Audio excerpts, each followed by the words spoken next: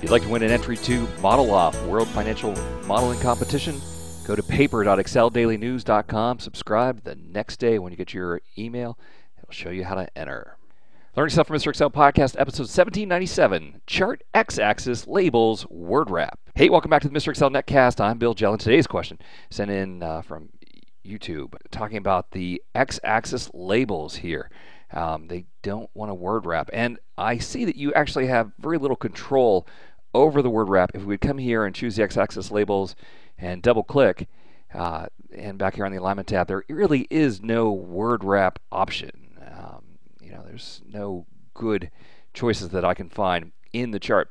So I have two solutions. Solutions number one is change the chart type to a bar chart. With bar charts, uh, you get a lot more room for product names to stretch out. Uh, so that's the standard one. Control Z will undo that. If you do want to have control, though, what you have to do is go back to the cells, the cells that contain these values, and you can have control. So we'll say Guerilla Data Analysis, and where you want the words to wrap, do Alt enter, Alt enter. Uh, and this was actually already an abbreviation using Alt enter, Microsoft Excel.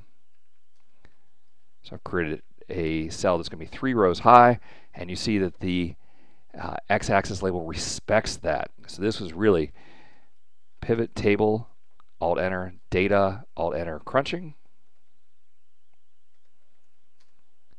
Uh, Excel outside the box. Let's do Excel Alt Enter outside the Alt Enter box. And don't fear Alt Enter the Alt Enter spreadsheet. Like that. And so by changing the word wrap in the cells using Alt Enter, you get control. And then that will change the word wrap along the x axis down here. So you would think that there would be some sort of a setting uh, in the, the format dialog for the chart. It's not there, uh, but instead just go back and force the word wrap in the cells and then it will word wrap down here in the x-axis. Go figure.